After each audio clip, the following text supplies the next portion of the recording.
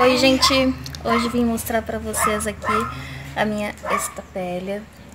E essa Belinha aqui, que é a nova integrante da família, né, Belinha?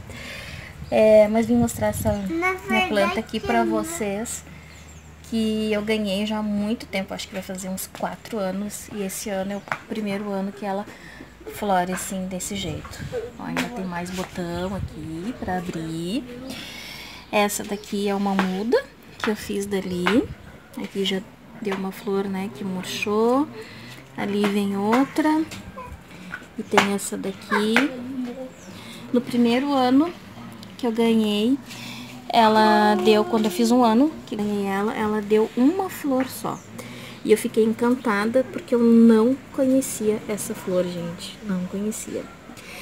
E aí, as pessoas falam muito, né, que ela é fedorenta.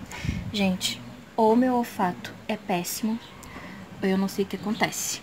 Porque eu não consegui sentir fedor nenhum dela. Ali, deixa eu ver se vocês vão conseguir ver as polinizadoras, que são as moscas varejeiras.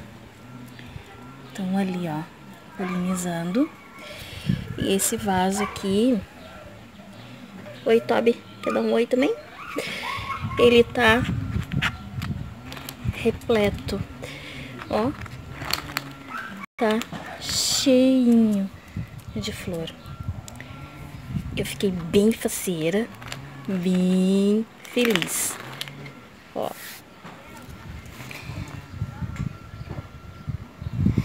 Então, é isso aí que eu queria mostrar pra vocês.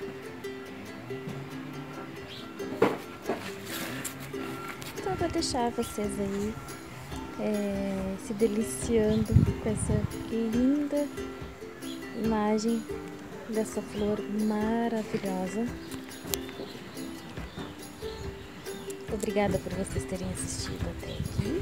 Fiquem todos com Deus. Vamos seguir aí na quarentena quem puder.